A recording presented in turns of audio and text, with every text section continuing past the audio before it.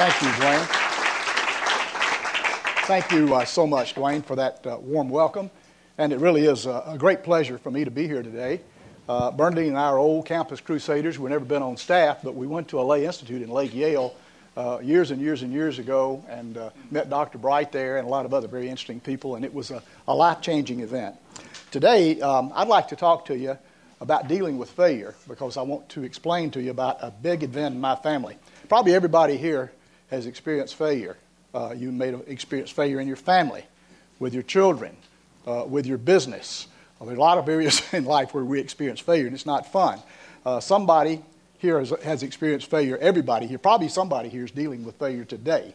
You might not really look it right in the eye and say this is failure, but the question is, how do we respond? You know, how do you respond? How would you respond to failure? And it really begs the question uh, how much is God involved? And when I'm going to talk, I'm going to talk mostly about business failure today. Uh, and uh, although the principles that I'm going to talk about rely, relate to all types of failure, uh, the question that always came up in my mind back in the earlier days is Does God have any interest? Does He have any concern? Does He have any purpose in my business life? Uh, does He have a purpose in the marketplace? Even my own personal involvement. Does He want me to be involved in that? And the most impactful decision of my life was when I was experiencing failure back in my first management promotions. I started as a sales rep and then moved up to a management position in Baton Rouge, Louisiana, which is where my lovely wife is from. She's a Cajun. She's a Cajun, real live Cajun there. She happens to be mostly Irish, but she's still a Cajun. By osmosis, she got it down in Louisiana. But uh, uh, I was promoted to a management position, and you know I had been a salesman, and I was a total failure.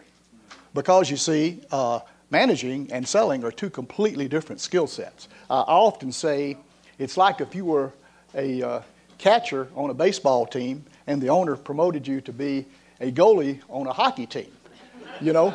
And all of a sudden, you got to learn how to skate or you're out of business. And that's kind of the position I was in. And so I want to talk to you a little bit about uh, what happened in my life because remarkable things happened when I saw how to move my life over into the kingdom. I was a Christian. In fact, I'll start with a little family history. I, grew up in a very, very stable Christian home. My father was a, a preacher. Uh, we were always regular in church. Uh, it gave me a great, great foundation because in our home, uh, the Bible was the final result, the final place to go for answers to all the problems that we faced. We based all of our decisions were based on the Bible. And I saw a great consistency, particularly my father's life, in that regard. Uh, I learned godly responses to the problems that we face in life. You know, one of the big problems we face is ungodly responses, and particularly in business. You know, things like humility, where uh, we should be humble, uh, and, and because humility precedes learning. We can't learn if we're not humble. And also, the scripture tells us that uh, God gives grace to the humble, but He resists the proud. And you know, most of us CEOs are really pretty proud of what we've done, you know. And we all have this. Someone, friend who introduced me said he has an adequate ego, and my wife would underscore that. and yet, pride, you know, uh, uh, uh, humility really is a very important thing. And um, it was 11 years of age when I received Christ as my Savior. And what happened then is that I recognized that I was a sinner. Now, probably you'd say, as an 11 year old boy, what kind of horrible sins had you committed, Wes? Well, I'll tell you. I had stolen. Most of you have. I've lied. Most of you have. I had disobeyed my parents. Most of you have. And I picked on my sister unmercifully. and so those were the, pri- the primary sins. But I, I knew that I needed a Savior. And I opened up and asked Jesus Christ to come into my life. And that was a very, very important thing because that was the basis of empowering everything else that happened in my life. And I would say to you today, uh, if you've never experienced this transforming experience, here at a meeting like this, we can teach you how to act like a Christian. But that's different from being a Christian. Many of us go to church and we learn how to act like a Christian. We want to be a good person. That's a real frequently used phrase that you're here. You're a good person. And you can learn how to do that, but it's without the power unless you're connected, unless you're plugged in to the Holy Spirit and you've received Him into your life and you've had a transaction in your life where you've actually invited Christ to come into your life. And the great exchange kind of reminds me of what that's all about because, in a sense, you exchange your life for His life. You give Him your life and His life comes into you. completely different world. Now, the, going back to the uh, hurtful experiences in growing up uh, and godly responses to that, you see so little of that today because so many homes, uh, kids aren't taught godly responses. They're taught ungodly responses, which they learn from television or from the internet or from other sources or from books that they're reading. And, uh, uh, for example, response to authority. It seems to me now, with the young people that I work with, uh, that there's not really the reverence and respect for authority as there was when I was growing up. Huge change there. And yet the Bible teaches that we should respond correctly and with uh, obedience to all authority because all authority in our lives has been placed in our lives by Him. Um, also forgiveness, being willing to actually, when somebody offends you, uh, to say uh, whether or not they ask you to forgive. A godly response would be to choose to forgive that person.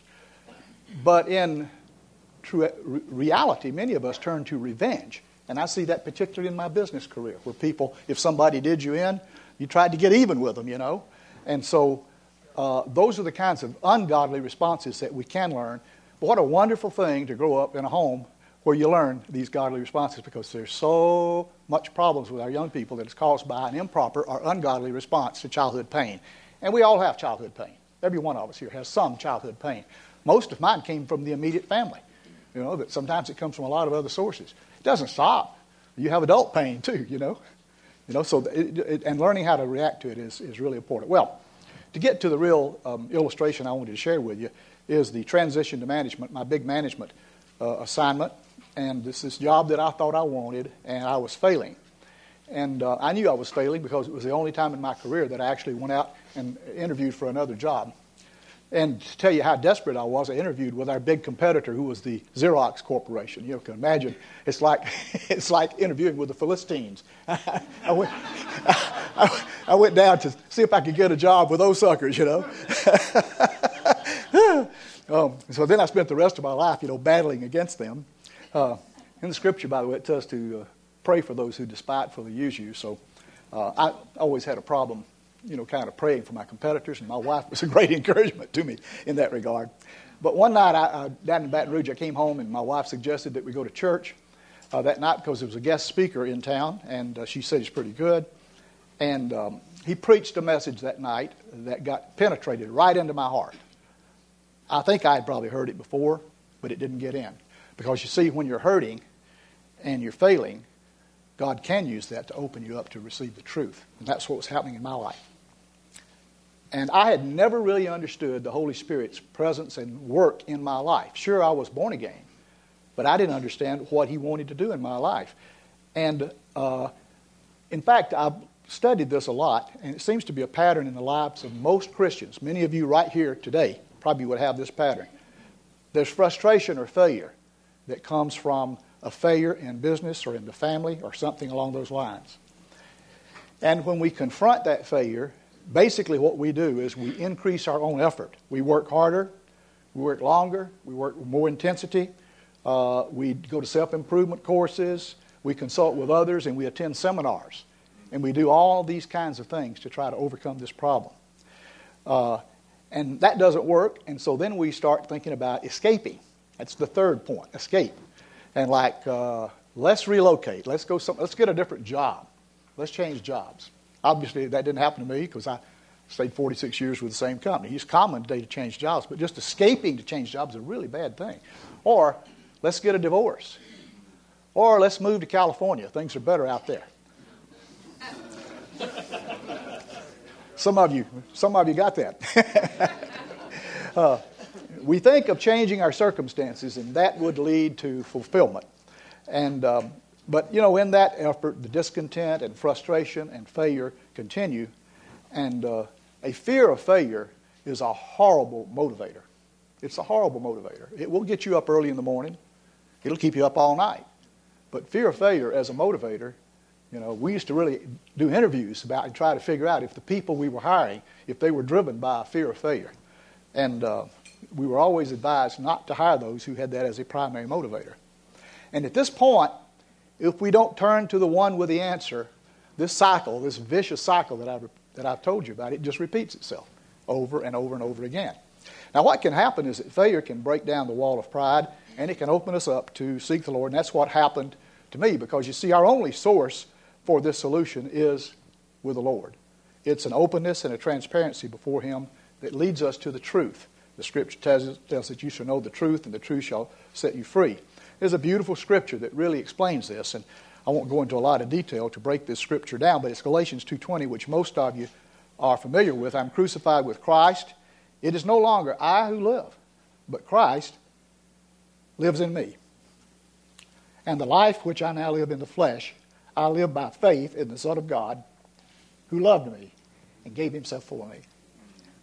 And so it's the great exchange of his life for mine, you know, where he comes in and he runs the show.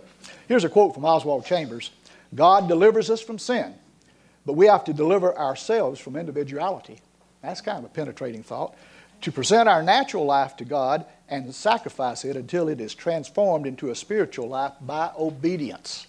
And so you see, we don't escape by any of these things. There's no trick here that gets you off the hook in terms of being obedient to God's call and to God's purpose. Interesting that we do that. And, you know, the thing that came out of this is I got a revelation there that God had a will and a purpose in my business life. Would you believe I had totally compartmentalized that before? I went to church, I taught a Sunday school class, I was a deacon, I tithed, I did all this stuff. And yet, when I went to work on Monday morning, I didn't really think about that God had a purpose in it. I mean, I never made the connection. And when I began to understand that, it opened up a whole new world for me.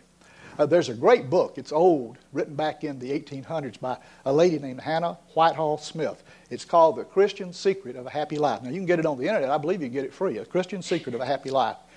Now, why does she call this thing a secret? She's talking about the spirit filled life. What I just described to you happened to me. That's what she's talking about in that book. And why does she call it a secret? Because I'm fully convinced that very few Christians ever really grasp this truth. I mean, we work all around it, we mess all around with it, but we don't really grasp that great truth. And without that, there's no freedom. And we're in bondage, you know. And uh, so it's a wonderful, wonderful thing. Uh, and also, Colossians 3.22, let me understand that I was really working for the Lord. It was Him who paid me. It was Him who called me. It was Him who gave me the promotion and everything else that came in life. It was really from Him. So you see what was beginning to happen there is that I was moving my business career. Little did I, I didn't know this terminology at the time, but I was moving my business career out of the secular world and into the kingdom. Just think about that. Here's another quote from Oswald Chambers Confidence in the natural world is self reliance. In the spiritual world, it is God reliance. And so when I began to understand that I was called to my work, because I grew up in a home with a preacher, you know, so obviously as a little boy, grandmothers and mothers tend to say, I think you're going to preach, son, you know. My son, who is a minister, by the way, said the worst thing that can happen to you is to be called to preach by your grandmother or mother.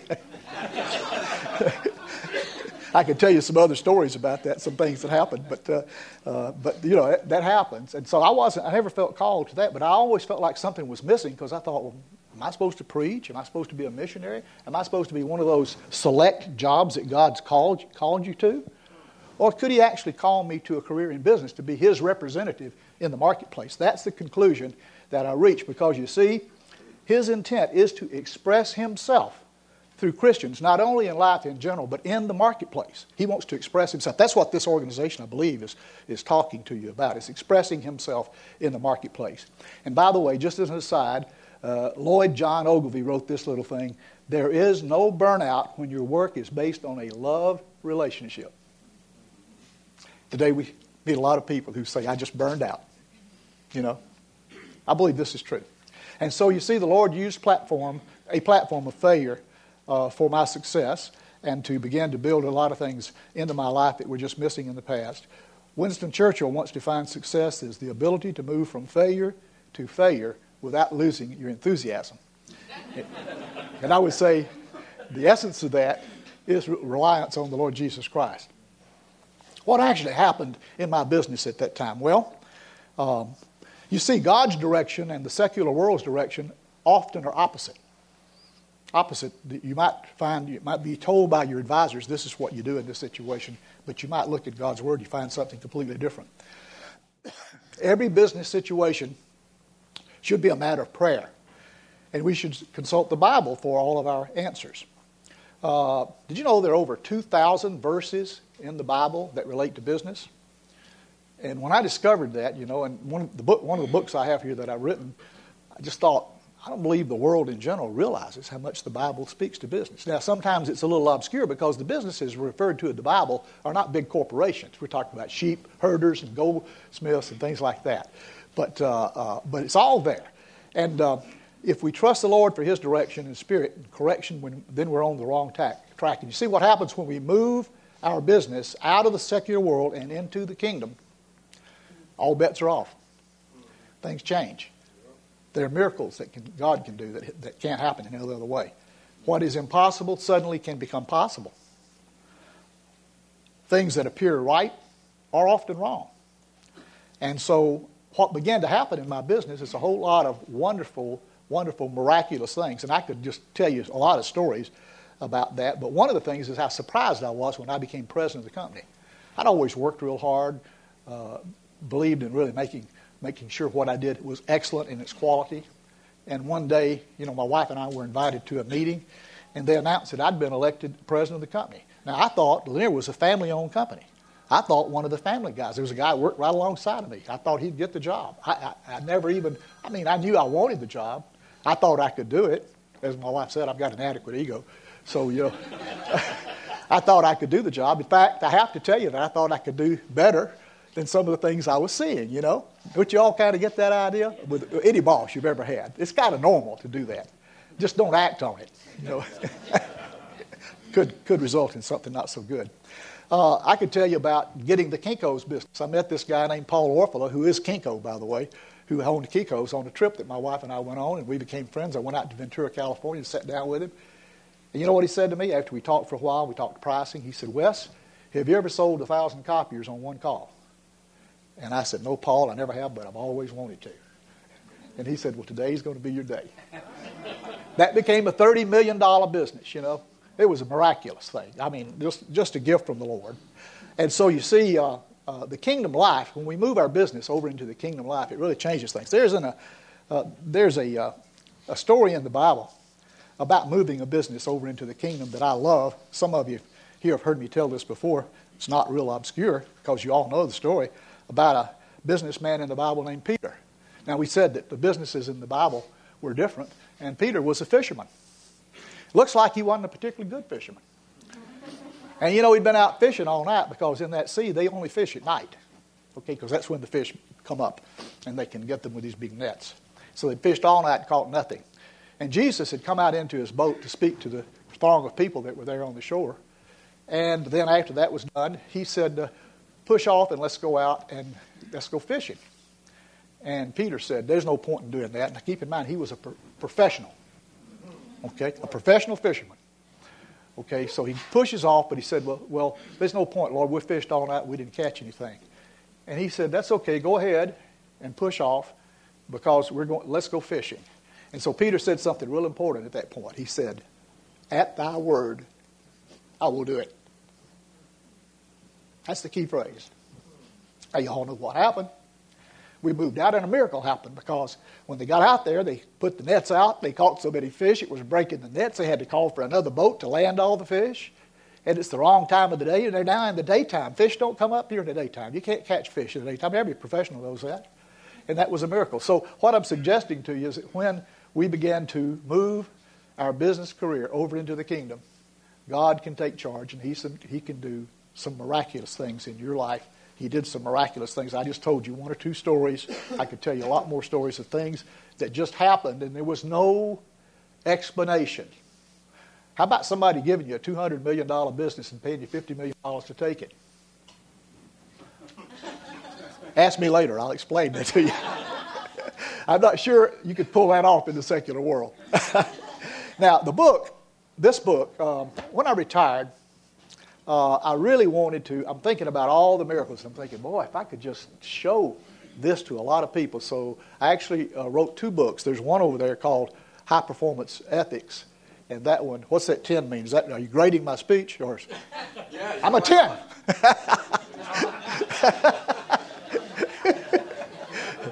oh, I thought maybe it meant my fries were ready, you know. uh, so, anyway, uh, I had this burden to tell people particularly a, lot of the men and women that I work with, they really didn't know what happened. I worked in a publicly held company. Uh, we were owned by the Harris Corporation. Publicly held companies, you know, you really get squelched a lot of times from talking much about the Lord. It's really, really difficult. Uh, and so you kind of fly, uh, you kind of stealthy, flying under the radar and all the time. And when you quote scripture, you don't mention that it's a scripture because most of the people on the board don't know it anyway. So you just tell. so, so you can kind of fly in there under the radar. But they all, always they knew something was weird about me, you know. And it's kind of like, well, we like being with him and produces really good growth and lots of profits. So cash flow is marvelous. Uh, so you get treated pretty nice on that. But it's like you have some kind of disease or something, you know. No close fellowship because there's something about you that bothers them a little bit. But I handled that without any problem. I, I grew accustomed to it and kind of thought it went with the territory. And uh, I really wanted to tell uh, uh, everybody about what had happened. So I wrote that book uh, with a guy named uh, Jim Lucas out of Kansas City. We co authored the book uh, High Performance Ethics. It's based on the Ten Commandments. And then the second book, uh, Shop Floor to the Top Floor, Releasing the CEO Within. Now, that releasing the CEO within is all what we've been talking about here today, is the release of the Spirit in your life. And all of you are CEOs. You might say, well, I don't know my own. No, no, it's not what I'm talking about. It, use it, not so literally, but let's use it figuratively. Like you may be the CEO of your home. You should be. If you're a man and if you're a woman, you're the chief COO You're the chief, chief, and you may even be the CEO. Depends on your husband. But I traveled a lot, and I did. My wife was a CEO when I was gone. But when I came back into town, she shifted over to be the COO, uh, and we worked in tandem and uh, and managed our family accordingly. So we had a lot of fun together and produced a really uh, wonderful family of all those 22 grandchildren. They all know the Lord personally. So we have the books here. If anybody's interested, uh, you can feel free to go over there and buy the books. They're ten dollars uh, which is a real good buy in terms of uh, the price off the Amazon.com or something like that. Uh, and we have a special if you wanted to get all four. My wife's books are over there too. She's also written a couple of books. Uh, How to Help Your Husband Be Successful. It's called Her Husband's Knowing the Gates. It's a tough book. Uh, and she's got another one over there called Bending the Twig, which is how to raise uh, children the biblical way. These books, you know, to the secular world are weird. but she's right on target. She's got the results to prove it, you know. And that's, uh, that's what you go by in, in, business, right? Results always work out. That's how I was able to keep my job. I had results. You know, they might not have liked me for certain other reasons. Uh, you know what this meeting is all about is uh, you're going to be asked to participate in some training programs with Cru Atlanta. And uh, Dwayne, I think, is going to tell you more about this. But uh, this is to get you involved uh, if you're a Christian, to get involved in sharing your faith or whatever in the marketplace so that you can move at your little sphere of the marketplace. You don't have to be a CEO. I was just a manager of Baton Rouge District Office when this began to happen to me. You can move your department, your, your era. Maybe you're just an underling who reports to somebody. You can move that right into the kingdom of God just through faith by trusting the Lord to work in and through that. You'll be amazed what kind of opportunities He'll open up. So uh, Dwayne is going to come now, I think, and explain more about uh, Cru Atlanta and the opportunities used to be Priority Associates, now it's Cru Atlanta. Explain to you about the opportunities here for training and for your participation in the marketplace. Thank you.